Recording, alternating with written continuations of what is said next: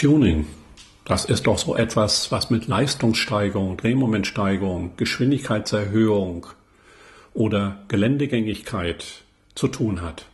Ja, das ist richtig so.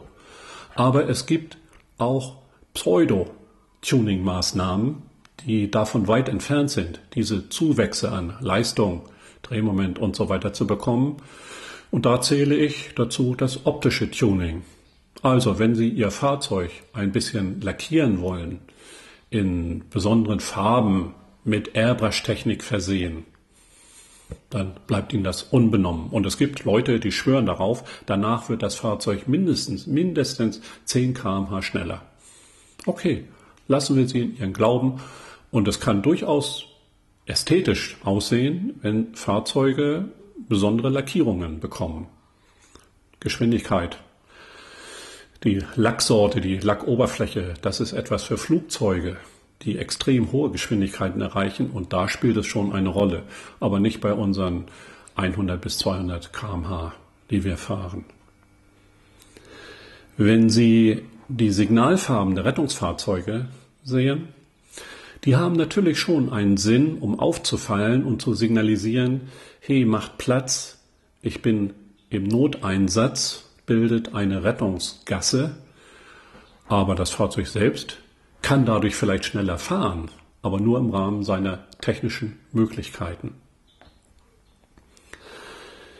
Neben den Lackierungen möchte ich aber auch erwähnen das Lichtdesign.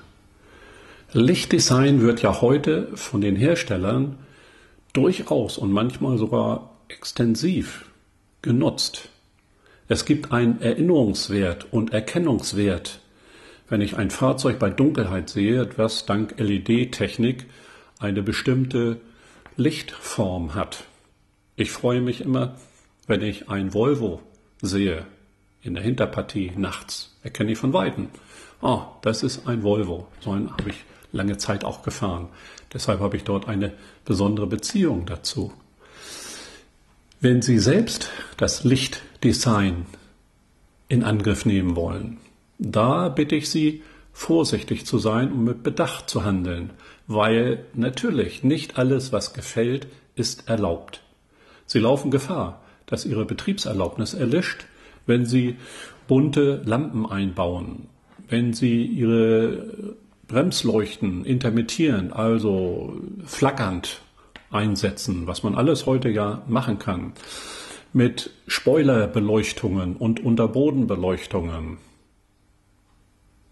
Es ist nicht so, dass sie sagt, das ist alles schrecklich. Nein, der Gesetzgeber sagt, das ist verboten. Außer Sie haben eine ABE oder eine Zulassung dafür. Gegebenenfalls muss die technische Überwachung das bestätigen. Ich bin ja viel in Asien unterwegs. Und was ich da sehe, das ist für deutsche Jugendliche, die auf Lichtdesign stehen, ein Traum. Was hier an blauen, roten, grünen, manchmal in allen Farbpaletten schillernden Lampen zu sehen ist, legal, illegal, egal, lasse ich mal offen. Es wird einfach eingesetzt und es wird offensichtlich auch toleriert von der Polizei. Und was mir besonders gefällt und mich immer wieder beeindruckt, das sind die riesigen Busse mit einem Airbrush-Design. Das, das sind wirklich Künstlerstücke, die auf der Rückseite häufig ein Lichtdesign haben, das auf der Autobahn von weitem sagt man, ey, was fährt da denn? Und dann kommt man näher und erkennt mindestens 30 verschiedene Lampen in ihrem Design, geschwungene Bremsleuchten, manchmal anderthalb Meter hoch, Dreifachauslegung von Rückleuchten, Bremsleuchten, Blinkleuchten, das ist schon was, was ich auch ästhetisch finde. In Deutschland, in Europa habe ich so etwas vielleicht bei einem Showmobil mal gesehen. Und achten Sie mal drauf, immer mehr LKWs, gerade auch aus dem Ausland, die haben so ein, äh, ja, mit Begrenzungsleuchten, so eine Art Lichtdesign, sehen manchmal auch aus wie ein Tannenbaum, aber gegenüber diesen asiatischen Bussen ist das einfach langweilig. Seien Sie also vorsichtig, wenn Sie da einfach so Ihre Lampen austauschen, Ihre Farben wechseln, das kann ins Auge gehen. Ich habe da auch in meinen jungen Jahren durchaus Erfahrung gesammelt und muss ich nicht wiederholen. Der Vollständigkeit halber möchte ich noch erwähnen, dass es natürlich auch ein Sounddesign gibt.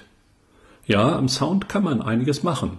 Als ich jung war, haben wir einfach mit dem Nagel ein Loch in die Abgasanlage des VfW Käfer getrieben und der hat richtig gerührt, bis die Polizei sagte, Stopp, Vorführung und so weiter. Beim dritten Mal hat man das verstanden. Heute gibt es Nachrüstsätze, zugelassene, darauf kommt es ja immer drauf an, von Abgas, äh, vom Abgasherstellern, also von Abgasanlagenherstellern, die eine ABE haben, manche auch eine Einzelzulassung benötigen und die durchaus einen Sound entwickeln, den die Befürworter super finden und die Gegner sagen, das macht nur Krach. Also ich erinnere mich nur an einen Freund, fährt ein Porsche, auch mit einer Soundanlage und er trifft sich manchmal mit Freunden abends oder nachts und sie fahren durch den Hamburger Tunnel am Hauptbahnhof und sie nennen das Musizieren. Okay, jeder hat so seine Schwerpunkte, seine kleinen Macken, die haben Sie doch auch. Und ich? Sowieso. Und beim nächsten Clip geht es jetzt schon gleich um richtige Tuning-Maßnahmen, die auch etwas technisch bewirken. Bis gleich.